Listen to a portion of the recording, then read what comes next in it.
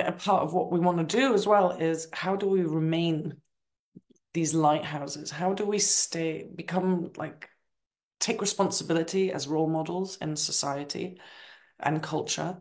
How do we become stronger anchors? How do we um, become more effective cycle breakers? How do we honor the gifts that we have? The some of us being like visionaries, seeing the next steps. Some of us, how do we maintain and remain in our ability to illuminate, light up the darkness, to show the shadows? Um, so in a way, I, I kind of feel like it isn't really a choice. being a practitioner and a healer, there is a part of it is you can't, you know that this is your path and why you're here. And what's going on though is that you try and put it out there. You know it's what you want to do and who you're meant to be, and you try and put it out there, and there are all sorts of blockages that show up. And the dangers that we have as practitioners is that we burn out. And I reckon that I, I don't I don't feel like I burn out.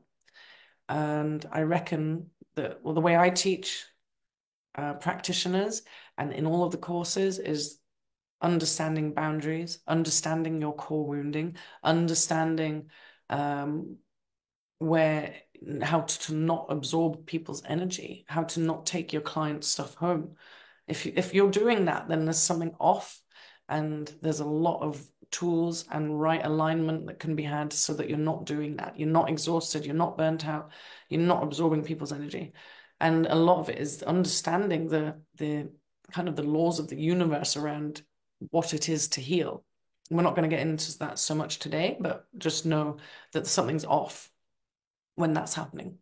Um, it's also really understanding that when you see the dangers that practitioners have is that if you're seeking validation because you weren't given any as a child, for example. You're seeking uh, validation from your community, from your clients, uh, in your relationships, then your power is shrinking and weakening, and your um, it becomes very sticky, codependent relationships. And with clients, that's just also off. So there's all sorts of stuff we have to look at as being practitioners. So, and also there's so many people that aren't making the income they need to survive. So then they end up doing taking on other jobs, and then you're letting go of you having to um, pass up your love and knowing for the path that you're meant to be on to supplement. So there's something around wealth that we blocked on. There's something about visibility that we're blocked on. And there's something around right alignment and professionalism that is blocked as well. So I think we have to come out of the new age platitudes and bypassing and very harmful content and into, you know, we're a legitimate profession. okay. And what I feel like we need going forward is resilience, boundaries, ethics.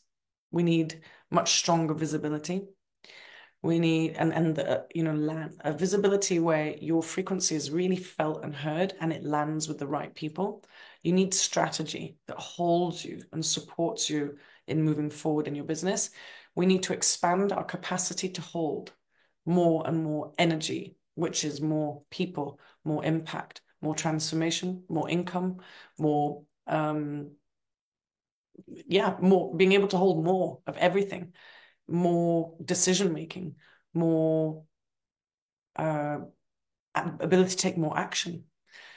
We do so expanding our capacity to hold more on all levels is super important. We need to step up into leadership, like self leadership. We need to take control, control or refine or take on an understanding of what it means to lead ourselves and lead others. And I think that's really important to understand that you are leaders and to step into that identity.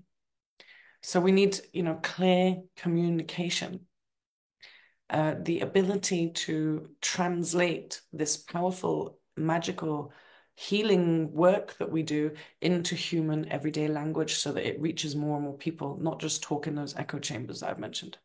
We need to reclaim our flow of expression and creativity and entrepreneurialism so that we can reach more people. So that means restructuring the inner landscape, the energetic architecture of who we are, so that this work is easier and easier to deliver.